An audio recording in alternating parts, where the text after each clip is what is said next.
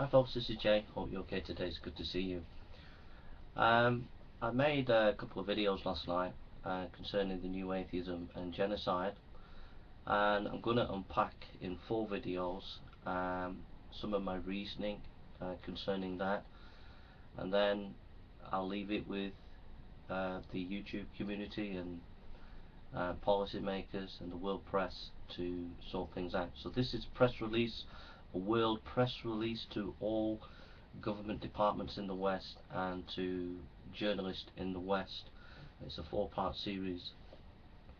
The two people that inform me concerning my videos are John Stuart Mill's Liberty and Dietrich Bonhoeffer, uh, especially his later life. And also I have done extensive research recently in the use of demonizing words and the relationship to genocide.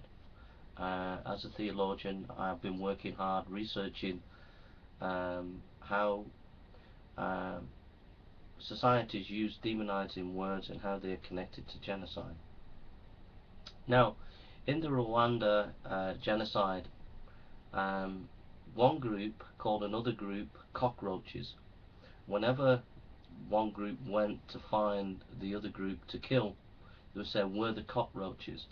The word cockroach demonized people and made people made the um, the violent group look at the cockroaches as not human beings and that led to genocide and so when people use language to demonize people uh, it makes people look at them as not human and genocide is is being prepared. Uh, the ground is being prepared for genocide. now, the new atheists have been demonizing Christianity and religious people, and that means that people will not be seen as human. So, for example, Richard Dawkins uh, has said continually that it's child abuse to teach your children uh, creationism uh, six day creation that it's child abuse to call your child uh, a Christian child if you're a Christian family.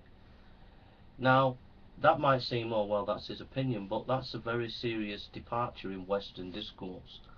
Um, that has not been known in Western discourse uh, since the Second World War. That is demonizing language, and that will make the public look at Christians as child abusers. And when the public look at Christians as child abusers, they will, Christians will be seen and religious people will be seen as not human. And when they're seen as not human, you're in territory where genocide could happen. Uh, now, I'm not saying the new atheists are trying to do this. I'm not saying Richard Dawkins is trying to bring genocide. But what I am saying that his language is preparing the ground for genocide in the next 10 to 20 years' time. And so it's up to you as the world press, it's up to you as governments to put a stop to this kind of rhetoric and to realize that religious people have a central role to play in our Western democracies and they are equal partners with you who are secularist. And if you don't pull up and bring that to bear and say, okay, religious people are equal with us in the secular realm, then you will bring a demonization of the religious demonization religious leads to religious not being seen as human. When they are not seen as human, that we are open in our Western democracies to genocide.